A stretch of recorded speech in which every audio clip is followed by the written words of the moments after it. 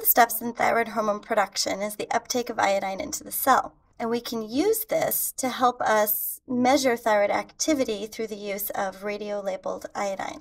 Radio-labeled iodine is also taken up into the cell and made into thyroid hormone, and we can measure thyroid activity using this using different imaging techniques. The way this is done is the patient's given an oral dose of radio-labeled iodine, and then 4 to 24 hours later, we take a scan of their thyroid. And this shows the areas that have taken up the iodine and helps us to measure both thyroid function and thyroid structure.